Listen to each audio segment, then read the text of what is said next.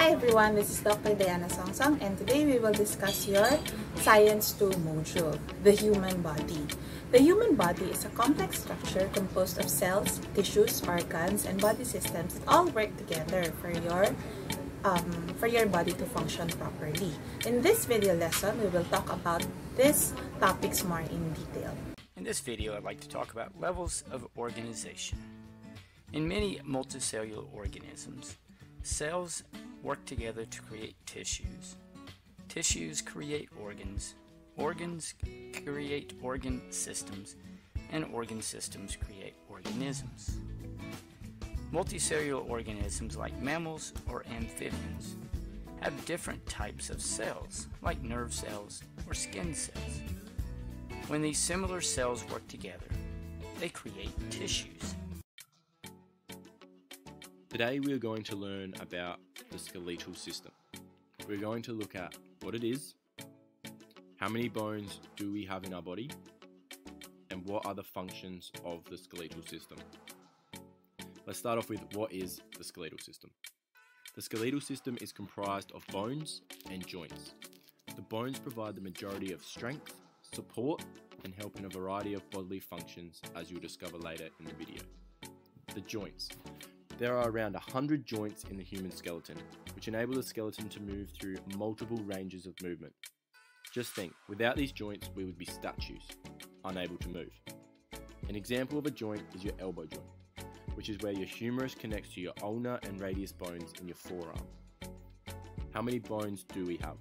The typical human has 206 bones in their body. However, this isn't always the case. At birth, you are born with 300 bones. I know you're probably thinking, how do we lose bones? Where are these bones going? Well, when you're born, there is many bones such as a skull that haven't fully developed yet. This delayed fusion allows your brain to grow until the bones fuse at around 2 years of age. Skeletal system functions. There are four main functions of the skeletal system which help the body in their own unique ways. Protection. The skeleton protects our delicate organs, preventing them from undergoing any harm.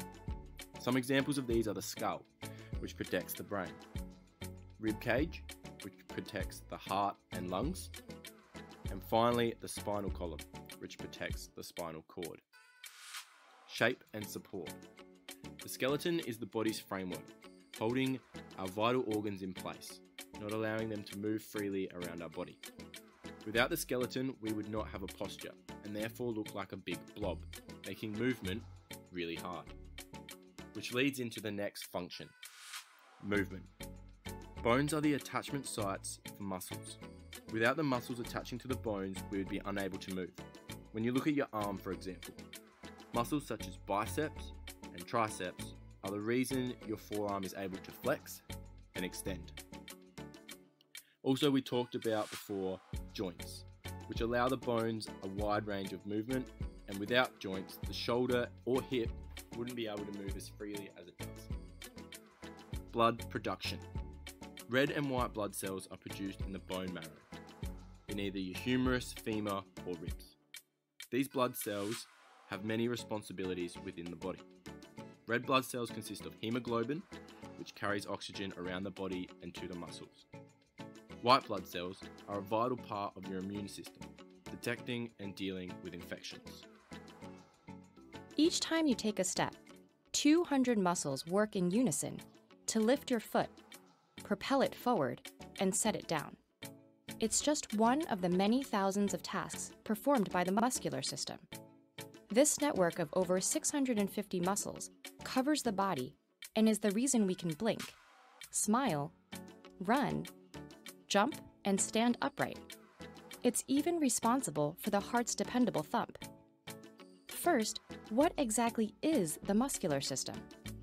It's made up of three main muscle types skeletal muscle, which attaches via tendons to our bones, cardiac muscle, which is only found in the heart, and smooth muscle, which lines the blood vessels and certain organs like the intestine and uterus.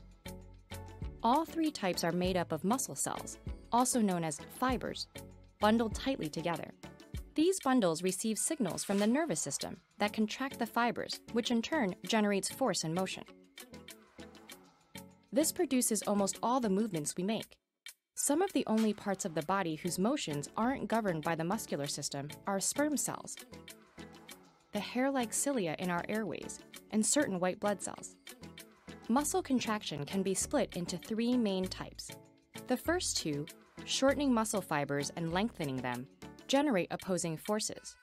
So the biceps will shorten while the triceps will lengthen or relax, pulling up the arm and making it bend at the elbow.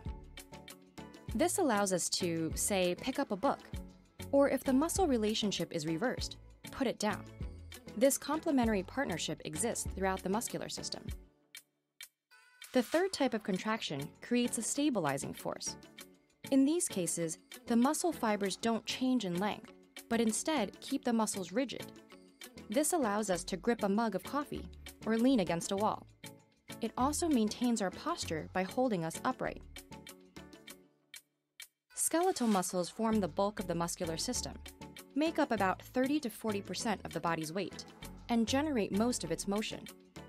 Some muscles are familiar to us, like the pectorals and the biceps. Others may be less so, like the buccinator, a muscle that attaches your cheek to your teeth, or the body's tiniest skeletal muscle, a 1 millimeter long tissue fragment called the stapedius that's nestled deep inside the ear. Wherever they occur, skeletal muscles are connected to the somatic nervous system, which gives us almost complete control over their movements. This muscle group also contains two types of muscle fibers to refine our motions even further slow twitch and fast twitch. Fast twitch fibers react instantly when triggered, but quickly use up their energy and tire out. Slow twitch fibers, on the other hand, are endurance cells they react and use energy slowly so they can work for longer periods. A sprinter will accumulate more fast twitch muscles in her legs through continuous practice, enabling her to quickly, if briefly, pick up the pace. Whereas back muscles contain more slow twitch muscles to maintain your posture all day.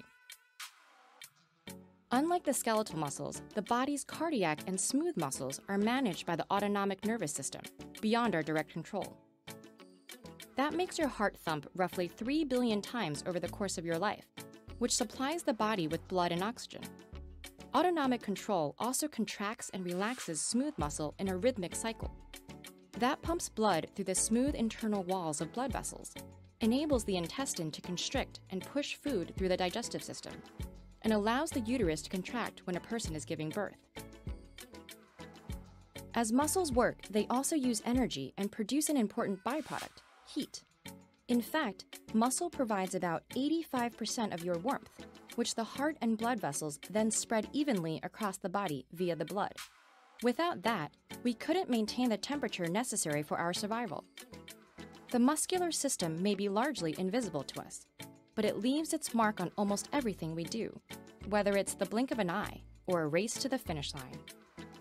Your circulatory system is absolutely fascinating and highly involved in this. In this short intro video of the circulatory system, we will mention some basics about its functions and trace the pathway of how blood travels through your heart. But please know before we get started, there are gigantic textbooks on the circulatory system itself. So, obviously, this video is just an intro. We're going to first talk about blood, the medium of how we transport glucose and gases. As we mentioned in our body systems intro video from many years ago, there are some misconceptions. Human blood is red, and always red, although the shade of red can vary based on how much oxygen is in the blood. Veins and arteries are often drawn in diagrams as blue or red to show whether they have lower or higher concentrations of oxygen. But that's just how it is used in most diagrams. It doesn't mean the blood or the veins or the arteries are actually that color. Veins that you see under your skin may look blue or green, but that involves the way they appear under the skin, and the reason for this would make a great physics topic, but I digress. Human blood has a lot of functions. It maintains a certain pH, temperature, osmotic pressure. All of this is very important for homeostasis. It transports things like hormones, nutrients, and gases and it's made up of different components. One component includes plasma, the liquid portion, water, proteins, salts, lipids. You'll find them in this liquid portion of blood known as plasma. Another component includes cellular components. This means red blood cells, which do the transporting of gases, white blood cells, which can fight infections, and platelets, which are actually cellular fragments and they're involved with helping your blood clot. Very important when there is damage to the body. Red blood cells have an iron containing protein called hemoglobin, and that is where the red coloring of blood comes from.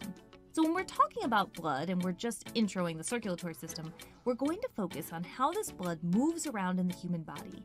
Human heart anatomy observes the heart divided into two distinct and separated partitions a deoxygenated or low oxygen partition and an oxygenated partition. There are some human congenital heart conditions that can result in this oxygenated and deoxygenated blood mixing, however. More on that at the end. Arteries carry blood away from the heart. Think A for away. Arteries are typically oxygen rich, but there are exceptions. Veins generally carry blood to the heart. Veins typically are oxygen poor, but there are exceptions. Capillaries are small blood vessels, and it is at the capillary level where oxygen is delivered to organs and tissues and where carbon dioxide will be picked up to travel back to the lungs. So, looking at this heart, the right side, and that's the person's right, so for you it will look opposite, pumps deoxygenated blood, and the left side pumps oxygenated blood. We can also see four chambers the right atrium and right ventricle, and the left atrium and the left ventricle. I like to remember that A comes before V in the alphabet, so that helps me remember that A's for atria are at the top of the heart, V for ventricles are at the bottom of the heart. Atria also have thinner walls than the thicker walled ventricles. The heart also contains valves, which we'll see when we get to tracing the pathway of blood. The valves are one way structures that help separate the chambers and also prevent backflow of blood. Ready to take the adventure of a lifetime? An adventure tracing the pathway of blood through the heart? We're going to start with blood that is in a human toe. This blood is deoxygenated. It needs to get to the heart so that it can be pumped to the lungs to pick up oxygen and then be spread throughout the body. It's going to get there through the vena cava, inferior vena cava to be specific, as the superior vena cava is above the heart. The blood enters the right atrium. The right atrium contracts, pushing the blood through the tricuspid valve into the right ventricle. The right ventricle contracts, pumping the blood through the pulmonary valve to the pulmonary artery. By the way, when you see the word pulmonary, it likely involves lungs. The pulmonary artery takes blood to the lungs. The lungs are where red blood cells in the blood will take on oxygen and release carbon dioxide. Now this blood is oxygenated. It needs to return to the heart so that the heart can pump it throughout the body. The oxygenated blood travels through a pulmonary vein to the left atrium. The left atrium contracts and the blood travels through the mitral valve, also known as the bicuspid valve, into the left ventricle. The left ventricle contracts and pumps the blood through the aortic valve and out a major artery known as the aorta. The aorta is a major artery that carries oxygenated blood throughout the body. Now, I don't want to neglect the fact that the heart needs its own blood supply for delivery of oxygen and glucose. The heart can receive this blood supply through coronary arteries. Coronary arteries branch off the aorta and eventually deliver blood into capillaries. These capillaries deliver oxygen and glucose to the heart. Coronary veins will take the deoxygenated blood to the right atrium where the blood will eventually travel the pathway to become oxygenated. In fact, to quiz yourself, can you pause the video and trace the pathway of blood again, starting with the right atrium? Okay, all together. Right atrium, tricuspid valve, right ventricle, pulmonary valve, pulmonary artery, lungs, back through the pulmonary vein, left atrium, mitral valve, left ventricle, aortic valve, aorta. Takes it to the body, and then it will eventually return through the vena cava back to the right atrium again. Whew, it almost makes you want to turn it into a song. But we won't. The significance of the pathways, how they interact, the coordination of contraction, and many more elements are part of every beat of your heart. A human heart beats over 100,000 times per day, so it's significant that every beat is coordinated and blood is directed where it should go. The complexity of the cardiac cycle, which is the coordinated sequence of the heart's contractions and relaxations, isn't something this short video can go into. Hopefully, a separate video on that soon. One last thing there are many conditions in which the heart doesn't function correctly. Anatomically, some heart conditions change the pathway flow of blood. One example that we had mentioned before is an atrial septal defect. The septum is the muscular wall that separates the right and left side of the heart. So, a septal defect could mean an opening and oxygen rich blood could mix with oxygen poor blood. Depending on the size, this can cause further problems such as an abnormal heartbeat, stroke, or potentially heart failure in severe cases. Some medications can help the symptoms, or surgery can be an option. There continues to be more advancements for treating cardiovascular conditions. Across the whole planet, humans eat on average between 1 and 2.7 kilograms of food a day. That's over 365 kilograms a year per person, and more than 28,800 kilograms over the course of a lifetime. And every last scrap makes its way through the digestive system. Comprised of 10 organs, covering 9 meters, and containing over 20 specialized cell types, this is one of the most diverse and complicated systems in the human body. Its parts continuously work in unison to fulfill a singular task, transforming the raw materials of your food into the nutrients and energy that keep you alive. Spanning the entire length of your torso, the digestive system has four main components. First, there's the gastrointestinal tract, a twisting channel that transports your food and has an internal surface area of between 30 and 40 square meters, enough to cover half a badminton court. Second, there's the pancreas, gallbladder, and liver, a trio of organs that break down food using an array of special juices. Third, the body's enzymes, hormones, nerves, and blood all work together to break down food, modulate the digestive process, and deliver its final products.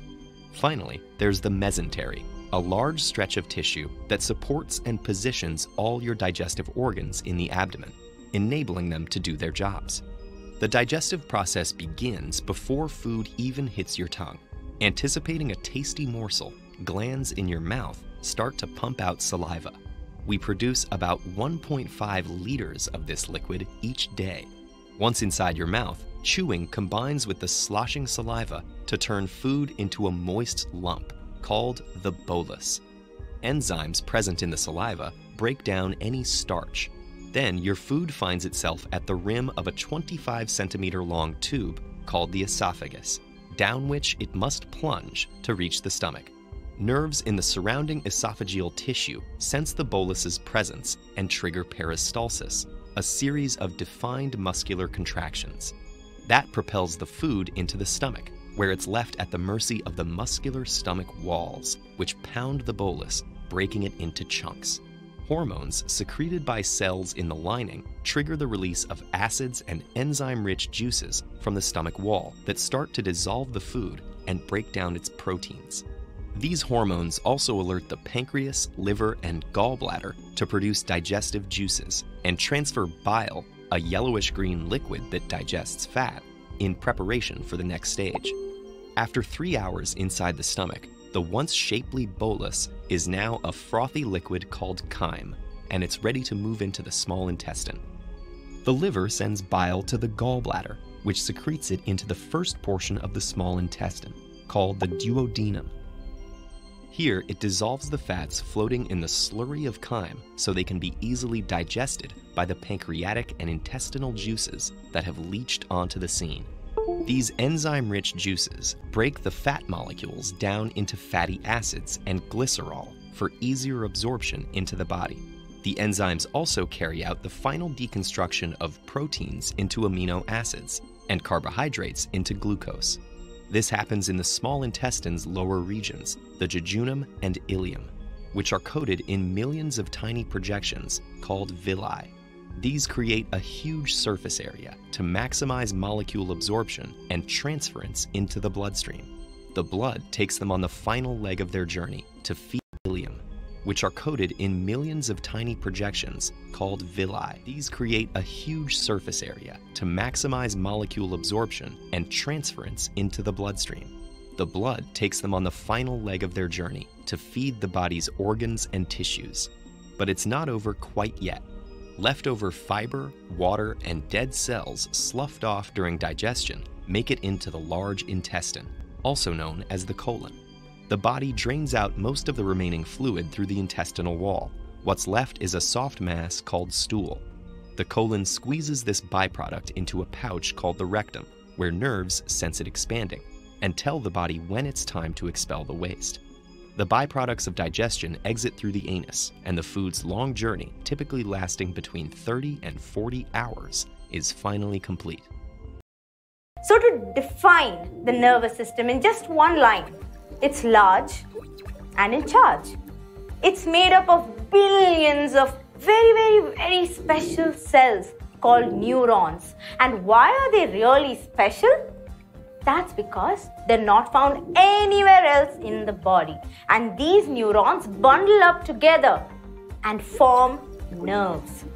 So, information like, say, the glorious taste of cake travels super fast through the nerves to the brain and help the brain take important decisions like have more of that cake. Both you and I are wide awake, right? I'm assuming that you're awake now that you're listening to me. So, here's something really interesting. We are individually producing enough electricity to power a small neon bulb. Now, that's something you should, you know, actually think about. Coming to what neurons look like. They look like typical cells. They have a cell body, they have a nucleus. But if you think about it, they look similar to a tree with the branches, the trunk, and the roots. The branches are the dendrites, the trunk is called the axon, and the roots are called the axon terminals. Terminal. Have you heard about the word terminal before? What happens in a train or a bus terminal? Trains or buses come in and go out, right? Similarly, at the axon terminals, information in the form of electrical impulses will pass from one neuron to the other. They actually high jump across from one neuron to the other through the small space called the synapse. The axons in some neurons are covered with a sheath. It's called a myelin sheath. And what this sheath does, it gives insulation to the neuron. And the myelin sheath has to be made up of cells. I mean, everything inside us is made up of cells, right? And these cells also get a name Schwann cells. And there is a depression between two Schwann cells that you can see. It's called the node of Ranvier, named after the person who discovered it or found it, uh, you know, for the first time. There are two main components or parts to the nervous system that you will actually learn about. One, it's called the central nervous system, and everything else, which is the peripheral nervous system.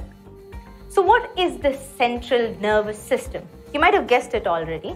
The main parts the brain, the spinal cord, and they are responsible for something major. They are responsible for taking all decisions and thinking and telling. The peripheral nervous system, you know, that is made up of nerves that branch all through the rest of our body. What needs to be done? And then the peripheral nervous system does it. So, the nervous system, uh, now you know, is central to our existence. It makes us who we are, it makes us do what we do. Take a big breath in, hold it, and breathe out. Now let's begin. You just use your respiratory system. It is a system in humans that is designed to extract oxygen from the air so we can use it in respiration around the body and at the same time get rid of carbon dioxide gas into the air, which is the waste product from respiration. Let's follow a molecule of oxygen gas as it travels through the respiratory system. As you inhale, the molecule is drawn in through the mouth or the nose. It goes into the back of the throat where it enters a tube called the trachea. The trachea or windpipe has special rings of cartilage to keep it open at all times so you can breathe if you are lying down asleep or on a trampoline. The oxygen molecule now travels down the trachea and then will go into either the left or the right lung via a tube called the bronchus. This bronchus then splits into smaller tubes called bronchioles. And finally, the oxygen molecule will make its way into a tiny air sac called an alveolus. These alveoli are surrounded by tiny blood vessels called capillaries, and the oxygen molecule now passes across from the air into the blood via a process called diffusion. At the same time, a carbon dioxide molecule goes the other way, coming out of the blood and into the alveoli as you exhale. As you exhale, the carbon dioxide will take the journey back up the bronchioles, a bronchus, the trachea, and out of the mouth. This happens to millions of molecules with each breath, as you have about 300 million alveoli in each lung. On average, you breathe like this 12 to 16 times a minute. Why not count yours after this video?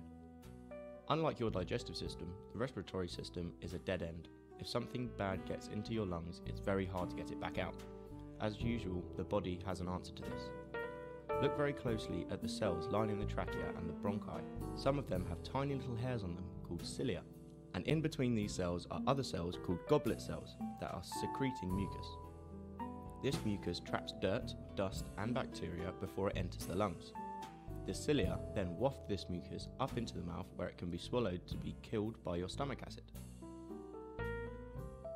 There are many things that can go wrong with your lungs, such as asthma, pneumonia, and diseases associated with smoking, such as emphysema and chronic bronchitis. However, if you have a problem, a doctor may perform a bronchoscopy. This is when they put a tube with a light and a camera on it into your airways and look for signs of inflammation or bleeding. What exactly are hormones and how do they work? Hormones are tiny, single molecule messengers which take messages to other parts of the body when released into the bloodstream. They are produced and released by endocrine glands. The hypothalamus regulates body temperature, hunger, thirst, sleep, sex drive, and moods, and it controls the release of hormones from other glands in the body. The pineal gland regulates sleep.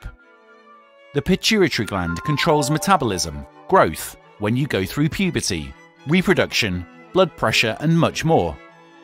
The thyroid produces hormones which regulate the body's metabolic rate, heart and digestive functions, muscle control, brain development, and bone maintenance. The parathyroid regulates calcium levels in the body. The thymus produces T cells, which are a crucial part of the immune system. The pancreas produces the insulin that helps control blood sugar levels.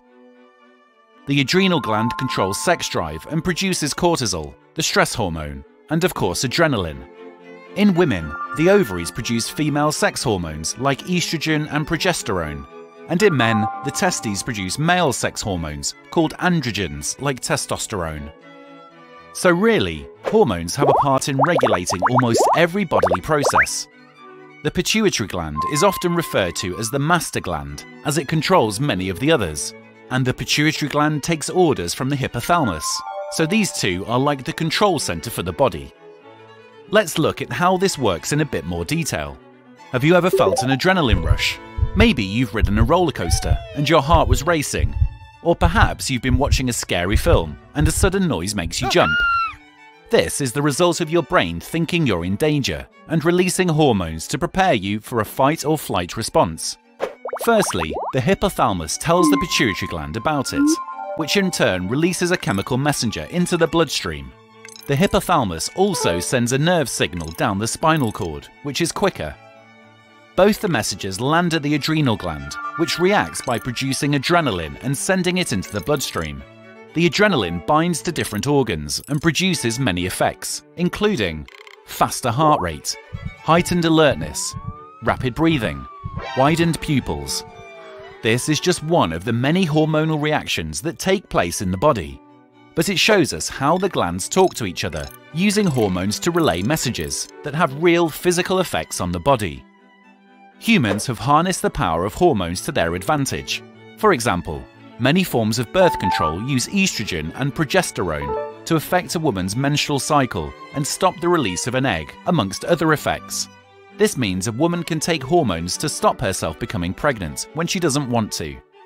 Someone with type 1 diabetes cannot produce the hormone insulin, which is usually produced in the pancreas, and therefore must inject it into their body in order to regulate blood sugar levels. Without this option, a type 1 diabetic would suffer from serious health problems. Oxytocin, known as the love hormone, is released when cuddling, being intimate with a partner, or even playing with a dog. Studies have shown that the hormone can reduce blood pressure, which reduces the risk of heart disease. It can also block stress hormones, help heal wounds, and even reduce swelling. The urinary system is also known as the renal system, and it consists of the kidneys, the ureters, the bladder, and the urethra. Your kidneys are bean shaped organs that are about the same size as a computer mouse. To find your kidneys, put your hands on your lower back and slide them up until you feel your ribs. Your kidneys are just behind a layer of muscle there. All your blood flows through your kidneys 400 times a day in order to filter out the waste. However, they also have other roles, as explained in the video, What is homeostasis? Keeping your body balanced is very important and the urinary system plays an important role in this. It keeps the water levels, ions such as potassium, sodium, calcium, magnesium, and phosphate, pH, and blood pressure as close to constant as possible. The blood goes into the kidneys via the renal arteries. It is then filtered into a million small filtering units called nephrons. Waste is then removed and flows down the ureters to the urinary bladder. The clean blood then leaves the kidneys via the renal veins and can return to the body. The liquid that collects in the bladder is called the urine. It contains urea, which is a waste product from the breakdown of the excess protein. It also contains excess water that the body doesn't need along with some ions like sodium and potassium. Did you know your bladder can hold up to 800 milliliters of urine? There are two little sphincters that control when to release the urine from the bladder. The first one opens up automatically when the bladder starts to get full. Luckily, we have voluntary control over the second one, so we can hold on that extra bit longer if we need. Sometimes your kidneys can fail. A long term complication associated with diabetes and blood pressure is kidney failure. This is obviously not good as waste builds up in the blood very quickly. If this happens, you will need to go to hospital regularly and go on a dialysis machine. Dialysis does the same job as your kidneys, filtering the waste out of the blood and balancing water and ions. Hopefully, at some stage, you would be able to have a kidney transplant. The best thing about kidneys is that you actually only need one to function. So a healthy person can donate one of theirs to you, and you can both function normally. Magic. A mosquito lands on your arm, injects its chemicals into your skin, and begins to feed. You wouldn't even know it was there if not for the red lump that appears, accompanied by a telltale.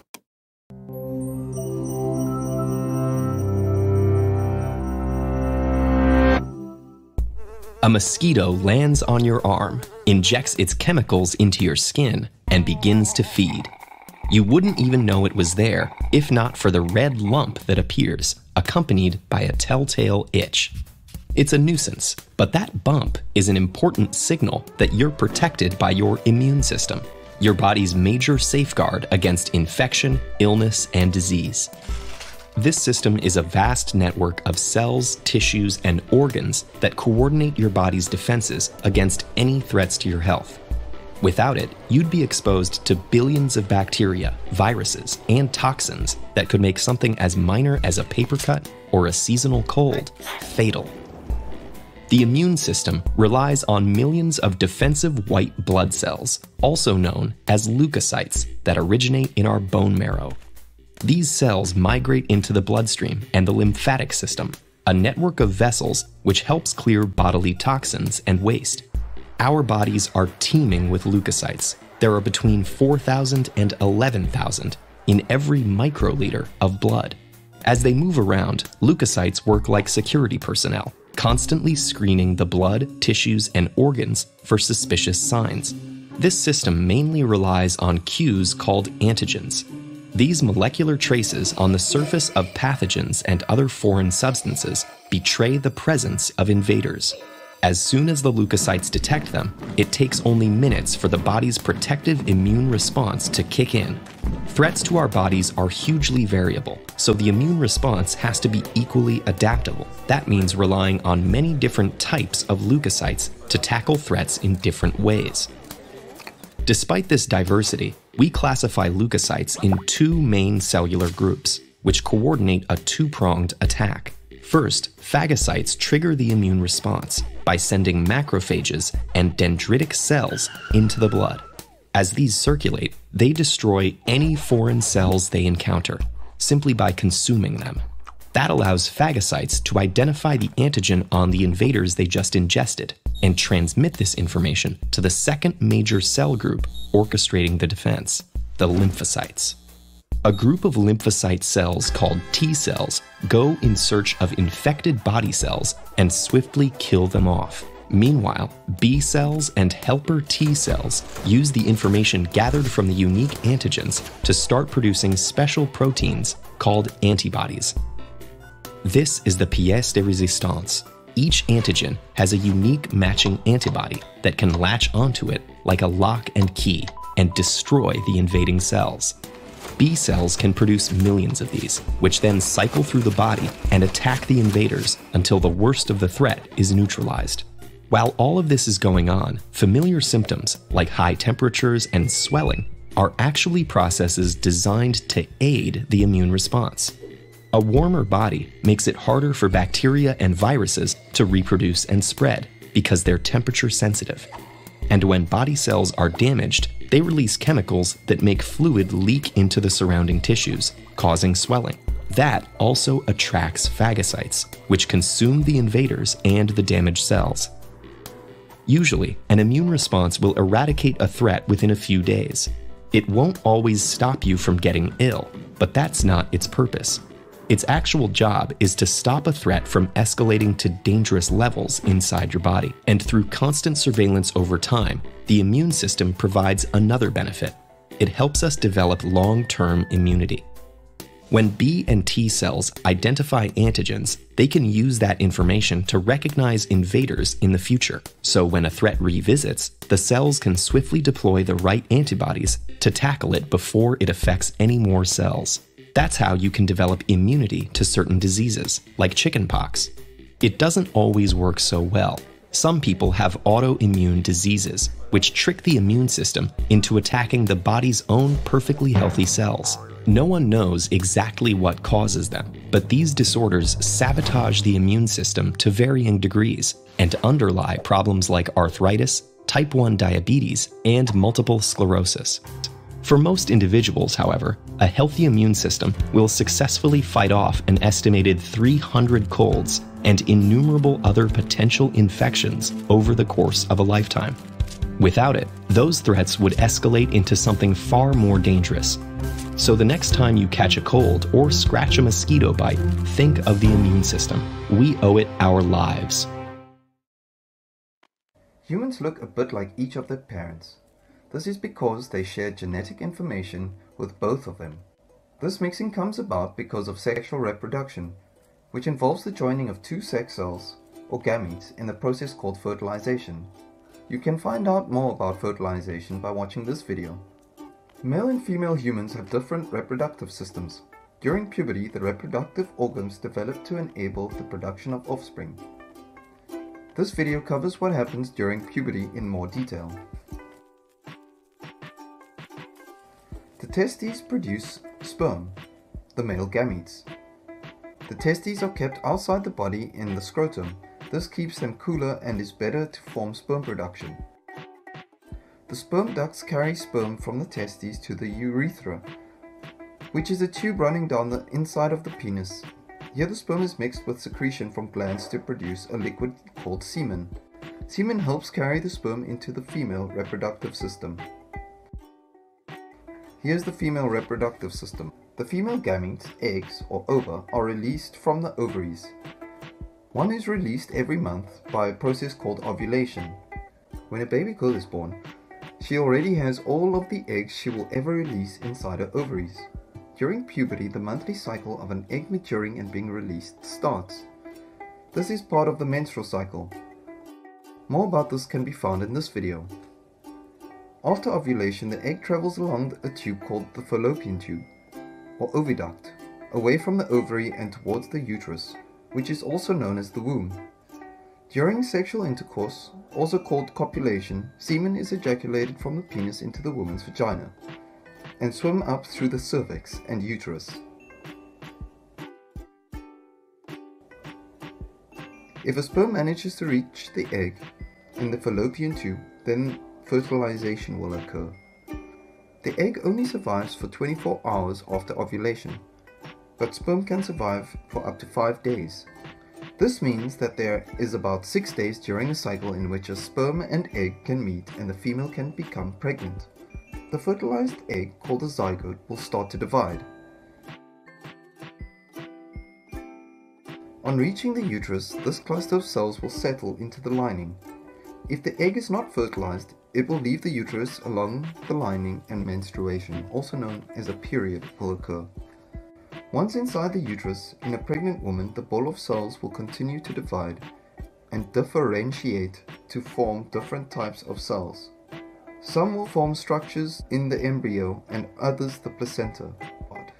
The placenta is an organ and is where the exchange of substance between the mother and embryo occurs. Nutrients and oxygen will pass from the mother's blood into the embryo's blood in the placenta. Blood vessels in the umbilical cord transport these to the embryo. Waste products like carbon dioxide will pass from the embryo to the mother, where they are excreted. At the end of week 8 after fertilization, the embryo is called a fetus. Now it has all the organs including a heart and brain, but it is only still the size of a grape. The fetus continues to develop for the entire pregnancy. Also called gestation so it can survive independently of its mother. This is normally between 38 and 42 weeks.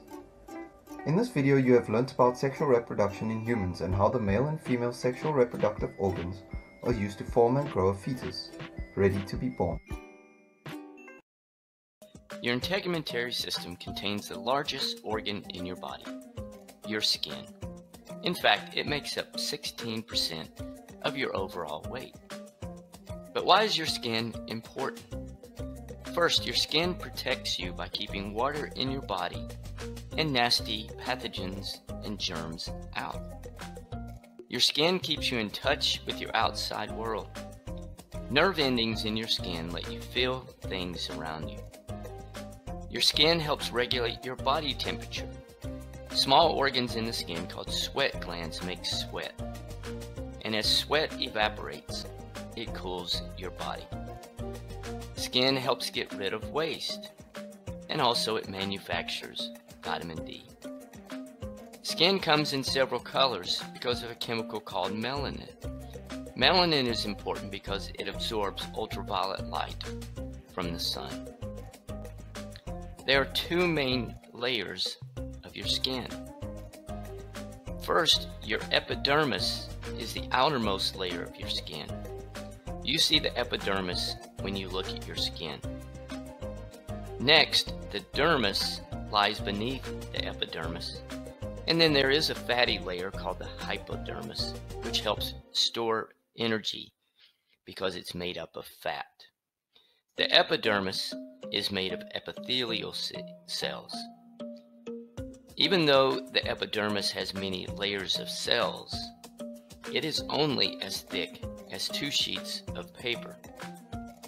Next, the dermis lies beneath the epidermis, and it has many different parts inside of it, such as blood vessels, which help transport substances, nerve fibers, which carry messages to and from your brain, hair follicles, muscle fibers, which are attached to a hair and help the hair stand up.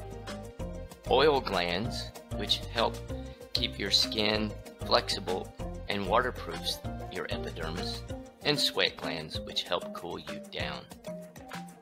The layer beneath all this is called the hypodermis, and like I said, it is made up of fat and connective tissue.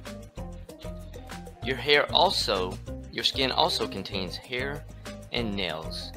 Hair helps protect your skin from ultraviolet light, and it also helps keep particles such as dust and insect out of your eyes and nose. So there we go, our outside layer, the epidermis, which helps keep you alive. There are five main systems in the human body. Of this, the blank delivers carbon dioxide and waste materials to the excretory organs to be released from the body. What will be our um, key word here? That would be this one. It delivers carbon dioxide and waste materials. So, which part delivers carbon dioxide and waste materials to the excretory organs? It has to be carried in our blood, right? So, the answer here is letter C, our circulatory system.